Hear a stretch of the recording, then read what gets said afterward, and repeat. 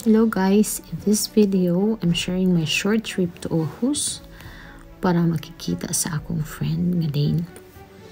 So, hope you enjoy watching it. Tungod kay medyo layo ang biyahe, dapat mo sayo tag hawa sa sa among town. Kay akong ang trip going to that uh, particular city, it takes 1 hour and 30 minutes So, magulat ang train sa'yo sa buntag. Makita ninyo, wala kay mga tao, di pareha sa ato sa Pinas, nga kadalingi ni mo, as kang daghan ng tao. So, dari, sa laing nasod, di di mo ma-expect, labi na sa Denmark, dili mo ma-expect nga daghan yung tao sa iyong palibot. Yung mga atubang diraong dapit. Makita ninyo mga kahoy.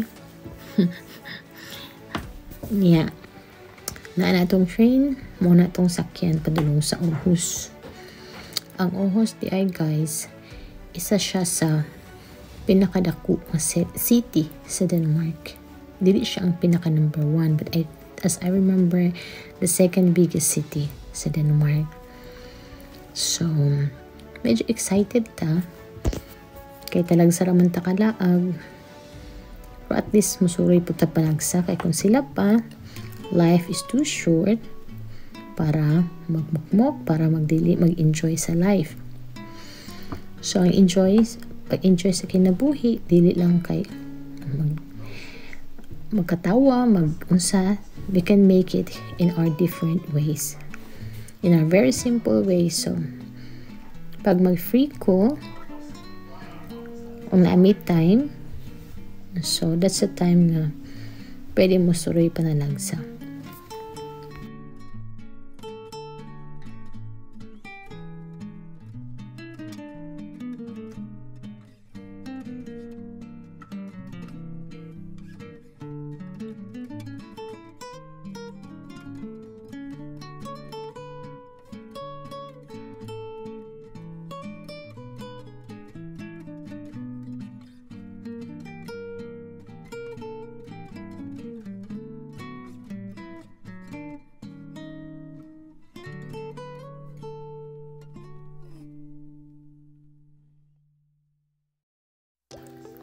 Nindot kayo ilang place then aside from that peaceful and very clean. Kaso lang na isang place particular place nga dili gid crowded siya. Dire dapita na mi sa roof deck sa isa ka shopping mall para mag lunch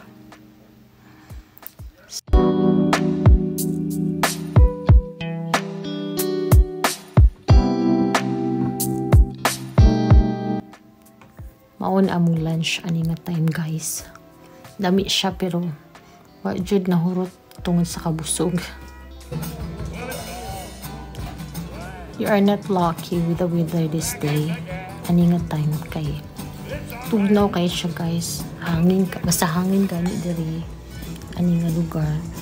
Tugnaw jud kay sa matanan so nag-enjoy man maglakaw-lakaw pero magdali magsulod sa mga shopping malls ay sa mga boutique kay para maka-get og warm sa mong body.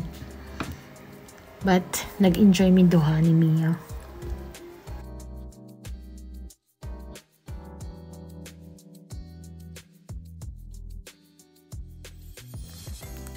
As usual, sa shopping time, hilig sa mga babae.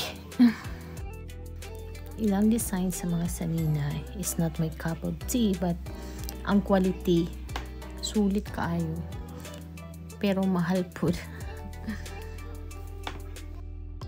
So after 8 hours of strolling around the city pauli na ko ani nga time and akong train ana mga 6 mga 5.55 sa gabi. So kapoy na si Inday and ready to go home and relax para work na po the next day. So, that's all for today guys. And for this video, I hope nag-enjoy mo pag-watch. So, amping mo diha guys. And pray always. See you next time in my video. Bye bye.